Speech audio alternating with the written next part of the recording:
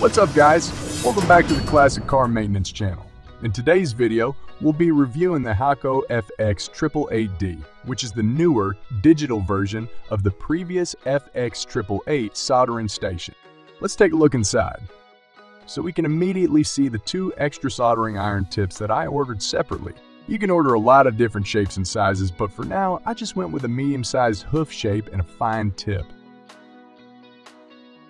As you can see, written on the packaging, these are from the new T18 series, which means that they have even better thermal recovery, faster heating, and less temperature drop, which makes them overall a lot more efficient to work with. Then we have some extra information, documents, and a couple of user manuals in different languages. But let's put that to the side. The next item is the soldering iron itself. Let's test it to see how it feels. From trying it just now, feels pretty good. Nicely balanced and good grip. Yeah, not too bad. It comes with a standard conical tip, also from the T18 series. And when we look at the backside, there's a nice, sturdy protection for the wire to prevent excessive bending and tearing the cable. The cable itself is 4 feet long, which is nice, so you can put the soldering station wherever you want even in the corner of your workbench and still easily reach everywhere you need to be. The cable is made from some sort of soft silicone and is heat protected so when you accidentally touch it with your soldering iron, it doesn't immediately melt away. And it plugs into the soldering station with these six pins. Then when we dig a bit further, we can find both the cleaning sponge and the cleaning wire. They're supposed to go into the soldering iron stand once again making it nice and compact to reduce the soldering station footprint. The soldering iron holder is rocking the classic Hakko look and color scheme. This cutout is for the sponge, and in here goes the cleaning wire, but we'll first look what else is in the box. And finally, we have the soldering station itself, the super recognizable Hakko with the digital display. It is also featuring the iconic Hakko colors and design, although this one is a bit rounder. You either love it or hate it. Personally, I must say that I really like the bright colors, although I prefer the more square look of the professional types. When we look at the back, it's got a long power cable that comes with the right plug and voltage for your region and is fixed to the back. Feels pretty solid. And when we turn it around back to the front, we can see the socket to plug in your soldering iron. The controls are kept super simple with only two buttons. And they feel nice. Give a nice clicky feedback. Simple, but it works. And finally to the side, there's the on and off switch. That's it, nothing more to it. Okay, now let's take a look at the soldering iron stand. We can see the soldering iron nicely tucked away in there, preventing you from accidentally touching the hot tip or damaging your workstation. The stand itself, as you can hear, is metal, which is also very nice, so there's no plastic that can melt. Let's put this to the side first. So, like shown in the beginning, you have the holder for the sponge and behind it for the metal wire. It's hollow on the inside and serves as a sort of trash can for the solder that falls off your soldering iron. You can open it by pressing the top of the tab, making it easy to remove the solder. You can even take out the bottom metal tray to facilitate cleaning. And to close it back up again, just slide it in there until it locks into place with a click. You just squish the ball of metal wire in there and lay the sponge in here. This way you can dab the soldering iron in there or wipe it off on the sponge, whichever you prefer. Looks very nice.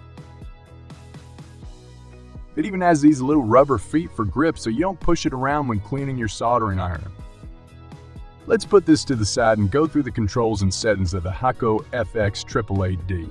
Now, if you're not used to this system of adjusting the settings, it's pretty confusing and not intuitive. You really need an instructions manual for this. That's the downside of having lots of customizable settings and only a simple display with two buttons. But once it's all set up and you know what to do, it works like a charm. To access the settings, you need to hold the up button and switch it on. You see setting 01 displayed, which is the temperature unit setting. When you select it by pressing enter, it says C for Celsius, and you can change it to Fahrenheit by pressing up. Then just press enter to confirm, and then you go back to the menu. Then when you press up, you go to setting 03, which is the safety temperature setting. When you enter it, you see the temperature displayed below which it will give an error that something is wrong with the temperature. If you want to change it, just press up at the number that is flashing and enter to confirm. We'll leave it at 270. Back in the menu, press up to go to setting 11, which is the temperature setting mode which displays 0 for the manual temperature select where you have to change the degrees by hand every time, and you can press up to select the preset mode. When you enter it, you get the choice between 2, 3, 4, or 5 presets, between which you can toggle to change temperature, but we'll set it at 3 for the moment. Then press enter to confirm and go back to the menu. The final setting, 14, is the password lock mode. When you enter, you have the choice between option 0, option 1, or option 2. 0 means that there's no password. 1 means a partial lock, and when you enter it, you'll go through three password locations. First, you'll see 1-1 displayed. The first one means the first location, which is the temperature settings, and the second number means that the password is on or off. When you confirm your choice, you go to the second location, the preset selection mode. Again, either 1 or 0, let's just leave it at 0. And the final location is for entering the adjustment mode. Again, with the option to turn it on or off. Now, after you've selected the locations for the password, you need to enter the password of course. It consists of three letters, and you can just go through them and select the password you want. We'll go with ABC for now. When you confirm, it saves the partial lock settings and the password, and you go back to the main menu. If you want a full lock, you go back to setting 14 and select option 2, which is the full lock mode, and then you can enter a password again.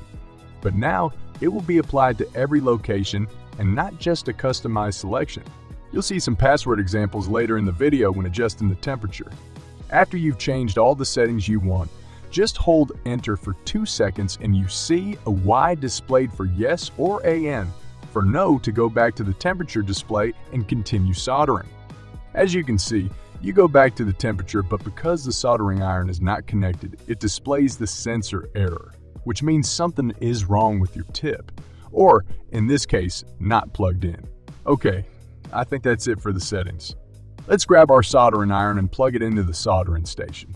It plugs in with these six pins and can only go in with a little notch on top. Carefully slide it in making sure you don't bend the pins. Once it's in, it feels pretty sturdy. It doesn't seem like it will be able to work itself loose anytime soon. First, we're going to put the soldering iron safely in its stand before we turn the device on and it starts heating up. Let's turn it on. Just flip the switch and it will display the temperature that is set and will start to heat up towards that temperature. Let's see how long it takes to get to the desired temperature. We're showing you this in real time so you can see how fast it heats up. You can see we didn't need a password to turn it on. That's because the password isn't meant as a child lock, but rather as a safety measure so you or a colleague don't accidentally change the temperature you should use for the job. Guess it's a plus for professional settings, but not so much for DIY. Heats up pretty fast, huh? Now that it's hot, let's first in the tip. Make sure you always have solder on your tip to prevent dry burning and oxidation of your tip. It's not just a good practice, it really does significantly improve your tip's lifespan. And while we're at it, let's try the metal wire and sponge to clean the tip. Works pretty well. I like the combination so you can choose depending on how much solder is sticking to your tip. Yeah, I like the solder and iron stand already. For the temperature settings, you need to press enter for one second. Because we activated the password lock, we have to enter our password now to be able to change the temperature. Now you can change the number that is blinking to achieve the desired temperature. You can only toggle upwards with the up button, so you need to keep pressing it until you get the right number. Let's set it to 600 degrees. It works great when you get used to it, but it's still a pity that there's no down button. When you've selected the last number, it will go back to the temperature display and you will see the temperature drop into 600 degrees. Okay, before we go further, I need to warn you about the most common mistake people make with this Hakko. When you want to change the temperature, do not hold the up button. Because when you hold the up button, although it says adjust is to calibrate the temperature, so if you go in here and change everything around, you will change the calibration which you can only fix with a soldering iron thermometer to calibrate it correctly, or with a factory reset, which I'll show you later in this video. So don't believe the word adjust that is displayed, and it's best to never mess around with the settings without having read the instructions manual. To change the temperature correctly, you need to hold the enter button and then you can change the temperature.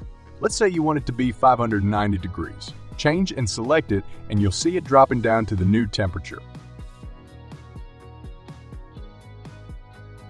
Want it to be 650? Just hold enter again. Change the temperature to the desired number and press enter to select. It's super simple. Now we're going to make the most common mistake with the adjustment mode, and then I'll show you how to fix it. Now let's say you spent a lot of time just trying to adjust the temperature holding the up button. Seems right. I want to adjust the temperature like it says here. Let's set it to 750 and then you hit enter and it starts dropping back down to 650. Weird. You haven't read the manual or watched this video, so you think like, what's going on? That's weird. Maybe I should try again. So when it's back at 650, you try to adjust it again, hoping it will work this time. Back to 750. Come on, let's go. I want it to go 750. And once again, it starts dropping back down to 650. When you've done that a couple of times and probably have lost count of how many degrees you've changed it back and forth, the only way to fix this is with a soldering iron thermometer and calibrate it correctly. But if you don't have one, what you do is turn it off. Press and hold both the up button and enter button together and then turn it on.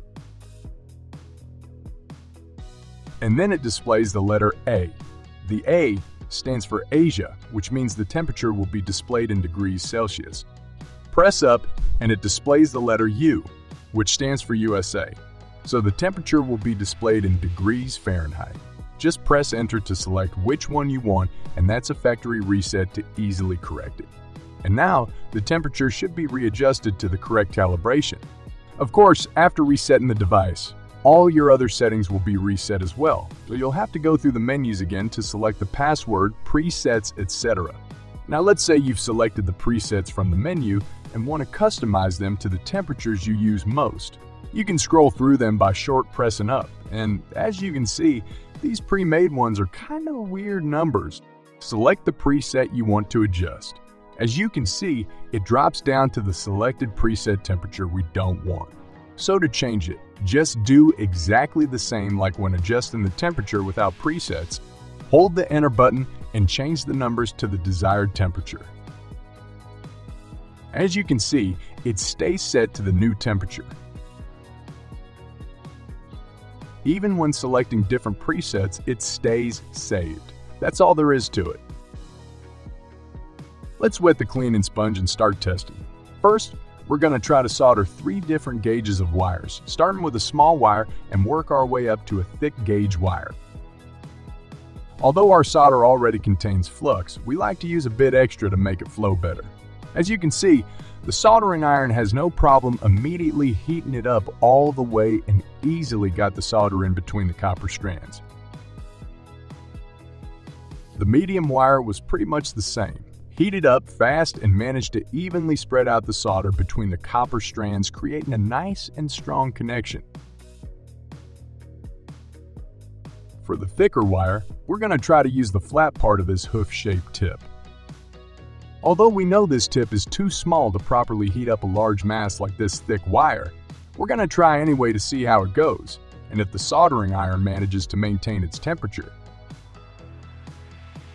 As you can see, it takes some effort to get all that mass heated up enough for the solder to melt.